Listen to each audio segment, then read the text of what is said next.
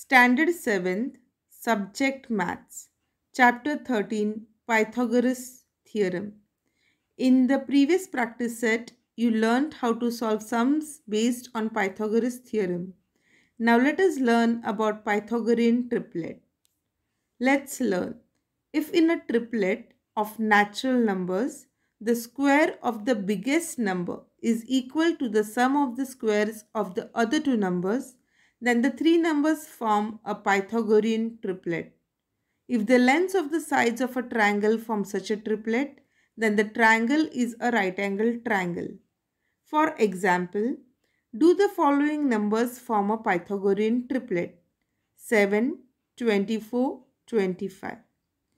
So these three numbers are given to us. They are natural numbers. So if in a triplet of natural number, if the square of the biggest number, 25 is the biggest number. If its square is equal to sum of the squares of the other two numbers, the other two numbers are 7 and 24. That means when we add the squares of 7 and 24, whatever answer we get, if it is equal to the square of 25 square, then these three numbers are said to be a Pythagorean triplet. So let's check. First, we will have to write the squares. So 7 square is equal to 49. 24 square is equal to 576 and 25 square is equal to 625. Now we will add the squares of the smaller numbers. Square of 7 is 49 and square of 24 is 576. 49 plus 576 gives us 625. Now we can see that the squares of the smaller two numbers when added is also equal to the square of the bigger number. That means we can write as 7 square is equal to 24 square. 7 square plus 24 square is equal to 25 square. This is the statement given here. That is the square of the biggest number is equal to the sum of the squares of the other two numbers. You can see here the square of the biggest number 25 is equal to the sum of the squares of the other two numbers. So we can see that 7, 24 and 25 is a Pythagorean triplet. Now an activity is given in your textbook on page number 90. From the numbers 1 to 50, pick out the Pythagorean triplets. So the solution we have here 7 triplets are listed. You can write it down in your notebook as an additional activity. 3, 4 and 5 is a Pythagorean triplet. Similarly 5, 12, 13. 7, 24, 25. 8, 15, 17. 9, 40, 41. 12, 35, 37 and 20, 21, 29. All these sets of numbers are Pythagorean triplets and if you have to construct a triangle with these sides, it will be a right angled triangle. So a triangle with sides which form a Pythagorean triplet is always a right angled triangle.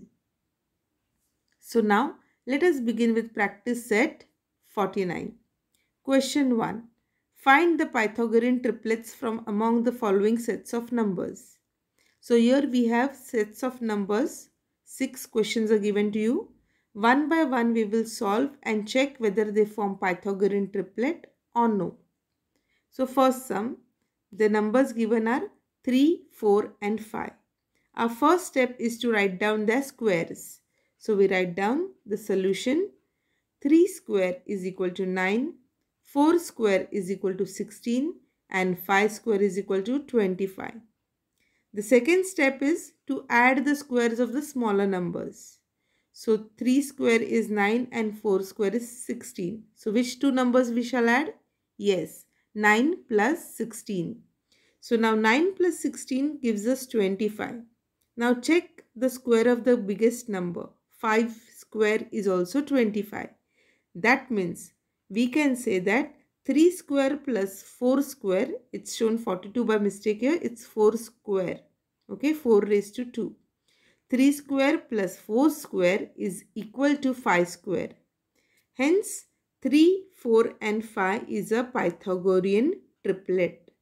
So, with, with this steps, you can prove that whether the given set of numbers is a Pythagorean triplet or not.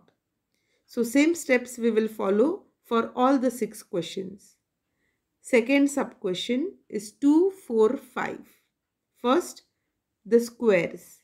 So we write 2 square is equal to 4, 4 square is equal to 16 and 5 square is equal to 25. In the second step, we will add the squares of the smaller numbers. That is 4 plus 16 which is not equal to 25. 4 plus 16 if you add you get 20 you can write 4 plus 16 is equal to 20 and show that it is not equal to 25 or straight away you can write in this step 4 plus 16 is not equal to equal to sign and one slash means not equal to 25 the third step that means 2 square plus 4 square is not equal to 5 square Therefore, 2, 4 and 5 is not a Pythagorean triplet. So, in simple steps, we have shown that 2, 4 and 5 is not a Pythagorean triplet. Same steps. You have to show whether it is equal to or not equal to the square of the bigger number. Third sum. 4, 5, 6. So, first step, we will write the squares of all the three numbers. 4 square is equal to 16. 5 square is equal to 25 and 6 square is equal to 36. Now add the squares of smaller numbers. 16 plus 25. 16 plus 25 is not equal to 36. It gives you 41. 20 plus 10, 30, 36 plus 5, 41. That means it is not equal to 36. So we will write down 4 square plus 5 square is not equal to 6 square. Therefore, 4, 5 and 6 is not a Pythagorean triplet. Okay. Here, if you don't show the actual answer 16 plus 25 is equal to 41 is also okay. You can just show that 16 plus 25 you add in your rough and then check if whether it's equal to 36. If not equal, write not equal to 36. Then you write 16 plus 25 is whose square? 4 square plus 5 square. Therefore, 4 square plus 5 square is not equal to 36 is whose square? 6 is not equal to 6 square. And then the final answer. Okay. Next, question number 4. 2, 6, 7. Let's write down the squares. 2 square is equal to 4. 6 square is equal to 36. 7 square is equal to 49. Now we shall add which squares? Square of 2 and square of 6 that is 4 plus 36 is not equal to 49. 4 plus 36 should give us 40. So it's not equal to 49.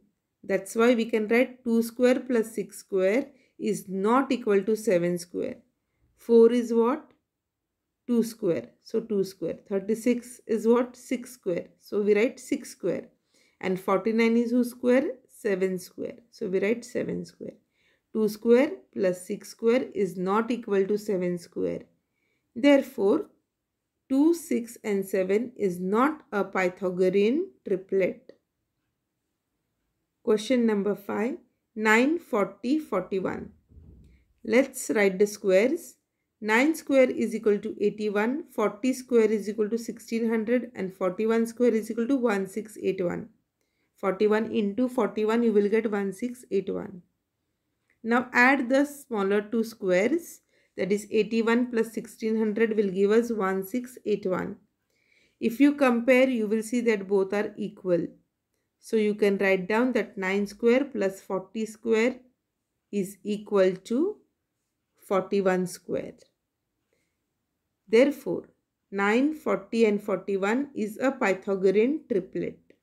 So this way we can get an answer whether it is a Pythagorean triplet or not simply by writing the squares and adding the smaller squares and checking with the bigger number square. This way we can detect whether it is a Pythagorean triplet or not. Sixth question 4, 7, 8. Now the squares 4 square is equal to 16, 7 square is equal to 49, 8 square is equal to 64. 16 plus 49 is not equal to 64. Therefore, 4 square plus 7 square is also not equal to 8 square. Therefore, 478 is not a Pythagorean triplet. So this way we have completed question number 1, sub question 6 altogether. Let's move on to question number 2. The sides of some triangles are given below. Find out which ones are right angle triangles. Now, if we know the angle, we can say that it is a right angle triangle or no. But by looking at the sides, how to detect whether it is a right angle triangle or no? Yes, we can do it by the use of Pythagorean triplets. So we will first have to identify whether the given triplets are Pythagorean triplets or not. If they are Pythagorean triplets, then it is a right angle triangle. Okay, these are the sides of some triangles. So let's do it one by one. Question number 2, sub question 1, 8, 15, 17. So the same steps, 8 square is equal to 64, 15 square is equal to 225 and 17 square is equal to 289. On adding the squares of the smaller numbers, we get 64 plus 225 is equal to 289. Now we can compare and see that both are same. So we will write 8 square plus 15 square is equal to 17 square. The above expression is of the form hypotenuse square is equal to base square plus height square. Therefore, the sides of lengths 8, 15 and 17 will form a right angle triangle. The only difference in question number 2 is you are going to write in this pattern. This is the statement you are going to write. The above expression, this expression is in the form of hypotenuse square that is 17 square is equal to base square plus height square. And this formula is Pythagoras theorem of a right angle triangle. So now we can say that the sides of lengths 8, 15, 17 will form a right angled triangle. So note down the steps carefully. Second sum 11, 12, 15. Let's write the squares. 11 square is equal to 121. 12 square is equal to 144. 15 square is equal to 225. But 121 plus 144 is not equal to 225. You will add in the rough and check for yourself.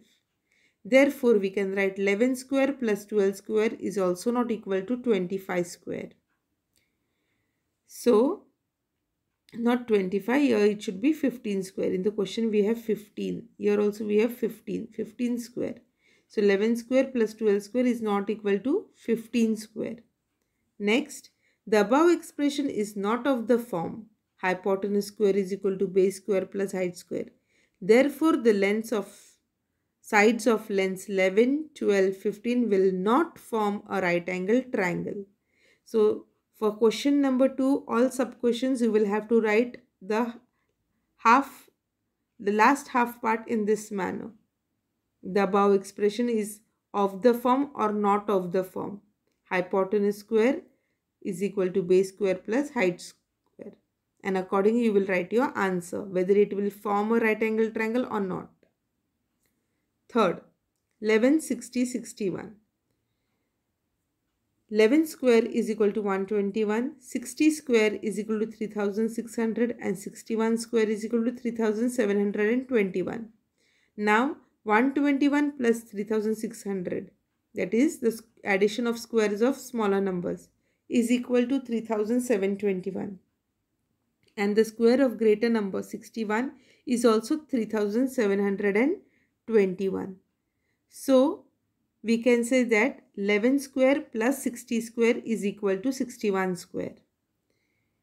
Now a statement comes.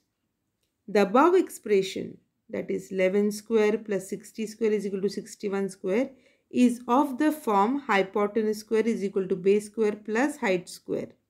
Therefore, the sides of length 11, 60, 61 will form a right angle triangle. Fourth sub question, we have 1.5, 1.6 and 1.7 as the sides of a triangle. Let's find the squares. 1.5 square is equal to 2.25, 1.6 square is equal to 2.56 and 1.7 square is equal to 2.89. On adding the squares of the smaller numbers, we get 2.25 plus 2.56 which is not equal to 2.89. Therefore, the squares are also not equal. 1.5 square plus 1.6 square is also not equal to 1.7 square. Therefore, the above expression is not of the form hypotenuse square is equal to base square plus height square. Therefore, the sides of lengths 1.5, 1.6, 1.7 will not form a right angled triangle. Question number 5. 40, 20, 30. So, let's write down the squares 40 square is equal to 1600, 20 square is equal to 400 and 30 square is equal to 900. But 400 plus 900 that is the squares of the smaller numbers on adding is not equal to 1600 the square of the greater number which is 40 square. Therefore 20 square plus 30 square is not equal to 40 square. Therefore, the above expression is not of the form hypotenuse square is equal to base square plus height square. Therefore, the sides of lengths 40, 20, 30 will not form a right angled triangle. So, this way we have completed our practice set 49 and also the chapter Pythagoras theorem. So, do practice the sums well in your notebook. Stay safe, keep learning and Thank you.